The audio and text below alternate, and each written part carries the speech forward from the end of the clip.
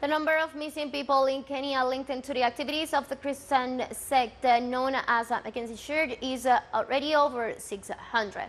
Kenyan authorities reported that 179 bodies were found on land used by the Christian sect in a wounded area of uh, Shakahola leading to the arrests of the group's leader who may be charged with terrorism.